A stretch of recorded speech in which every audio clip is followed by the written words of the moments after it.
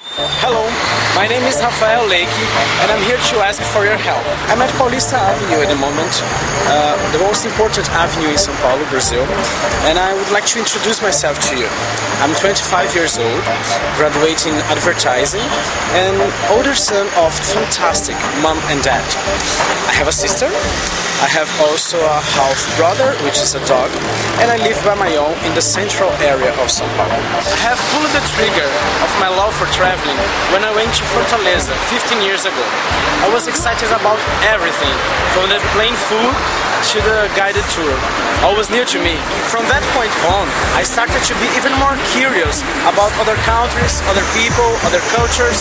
But before I actually go there, I've been to some places here in our huge Brazil, such as Porto Seguro and Rio de Janeiro. A gente está no sovaco do Cruz. I'm halfway there on a road that leads me straight to who knows where. In 2008, I did my first international trip to Buenos Aires, Argentina. I created a DVD of this trip to my friends. But you can also uh, watch this video here on YouTube. You'll find the link here. By that time, I had already reached a good level of my career, but I still didn't have a lot to reach. And then it came the biggest decision of my life, the biggest challenge of my life. I decided to stop the train in Brazil and move to London to stay there for nine months. Dois dos, dos pontos turísticos mais importantes do mundo, né? A gente conheceu no Cristo Redentor e hoje o Big Ben. Aliás, tem muita coisa na cidade em reforma. A gente supõe que seja por causa da, das Olimpíadas de 2012. but it was the best decision I could have done. There, I could improve my English, got a certificate I didn't have because I learned English by myself while in São Paulo. I also made amazing friends, uh, learned how to cook just a bit. I was able to travel uh, through Europe. I shared all this experience on a multimedia blog named The Way Travel, formerly The Way Londres, where I posted videos, photos, and wrote about the experience I was living. Because of the blog, people started to contact me, and it was such an extraordinary experience. I kept blogging wh- when I was back to Brazil. The blog allowed me to show a bit of each place I've been.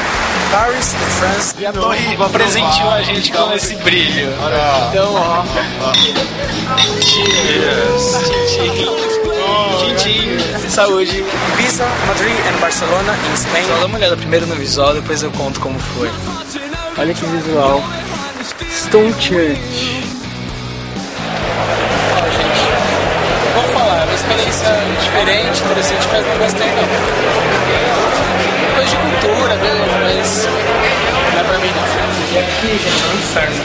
Pior que Londres, sendo 40 metros dentro, de- 40 quilômetros dentro da estação pra eu trocar de língua pra, pra chegar na plataforma. Enfim, legal. Cardiff, Wales, Tipo uma porta mesmo, com uma chavinha pequenininha e tal, você abre. Não tem nada aqui. Mas. Um dia que eu tiver uma casa fazer um cofre assim. Dublin, in Ireland, Viu só só porque eu falei, e é só pra mostrar que essa cidade é cheia de controvérsias na sua história, então tá mostrando mais uma agora. Berlin, in Germany, A galera que governa, a galera que manda tá aí, ó. Você concorda? Não é parlamento, tem certeza? Prague, in Czech Republic, Você fala inglês? Fala. Um pouquinho. Você tem o livro do Harry Potter? Tenho em inglês, não em tcheco. Aí você olha pra minha cara e fala, hã? Rome, in Italy, A gente tem uma vista legal da parte interna do Coliseu. É legal essas coisas de eu me divirto. Lisbon, in Portugal, Aí elas, a gente demora elas, moço, moço, moço. A gente olhou pra trás ela, é pegadinha, olha ali a van. É pro Brasil?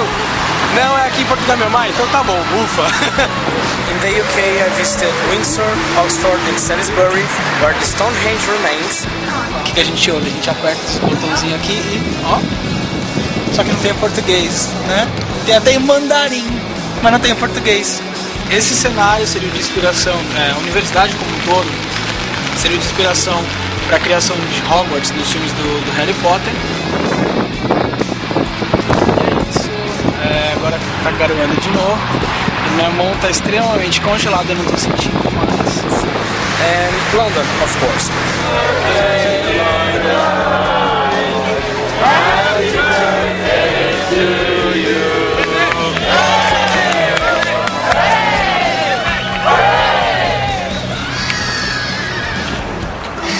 Piada!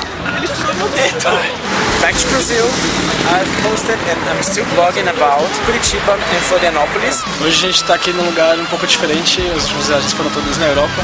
Agora a gente voltou pra América do Sul e tô aqui em Curitiba. Tô especificamente no Jardim Botânico.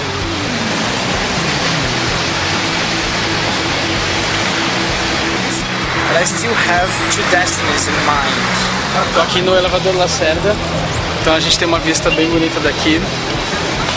E a gente tá próximo do Pelourinho. But I do have a problem. The blog, even though it's so important to me, is just a hobby. So I just can update the blog during the gaps between work, housekeeping, and other activities. It's here I will ask for your help. I'm on the run to be Student Travel Bureau's ambassador on the STB Discover application process. I want to work for them and bring experiences and information from abroad to you, who wish to see the world through your computer screen before actually going there. At the first part, the applicants have to create a profile and be well voted to grab the attention of the selectors. To help me doing that, on my profile click on the blue heart and type the words. It's done. Simple, isn't it? So again, go to my profile, click on the blue heart and type the words. Can you give me your heart? Can I count on you? On this YouTube channel, you can watch some of my videos to be sure I'm the perfect guy for this position. Help me to get my dream job. Thanks for watching. Keep following the blue heart. Bye bye.